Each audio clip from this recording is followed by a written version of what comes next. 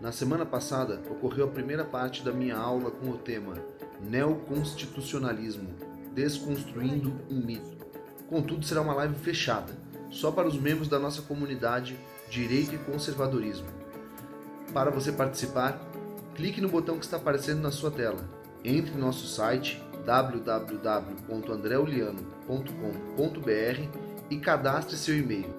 Eu e os outros membros da nossa comunidade aguardamos você. Um forte abraço e até lá!